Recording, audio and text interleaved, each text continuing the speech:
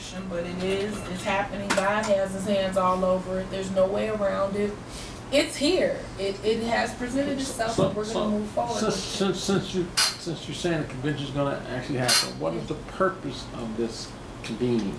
The time is now. We have to build a nonpartisan, sustainable infrastructure from a robust IT infrastructure. And this just, again, this is our initial website. Mm-hmm. all the way down to an actual model for black organizations to be able to convene on a nationwide level from through Google Groups, having facilities and those partnerships in place with black organizations nationwide.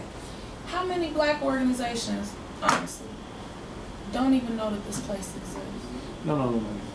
The purpose of is to get black organizations together to kind of work, collaborate? To collaborate? work on it and yes. So what, and you're gonna give them some tools, some electronic We are tools to that, we're gonna give on? them all the tools that they need for this process. So case in point, we likely will have Bernice Armour do a Google Hangout inside, Sy Bounds is the expert on that piece. We teach organizations how to cut the cost for their speakers. We teach businesses how to cut the cost, startup costs for their websites. This site is a Google site, and Mr. Sy Bounds has been a part of the Google group that has brought nine um, locations throughout the city of Chicago since last fall through this uh, October um, to teach nonprofit organizations how to host all of the informa- all of the uh, infrastructure pieces that Google has in place from documents all the way to the Google Sites piece.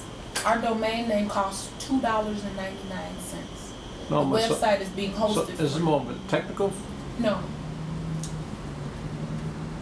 Ultimately, it covers our main focus within the historical 2012 is to one unite the generational gap and bring the elders and the youth together to have a discussion. We're going to have our youth together so they can have a discussion about their recommendations and how to move their own agenda forward. When I was afforded that opportunity in high school to do seven months of welfare reform research and offer social public policy recommendations to BJ Walker, who was over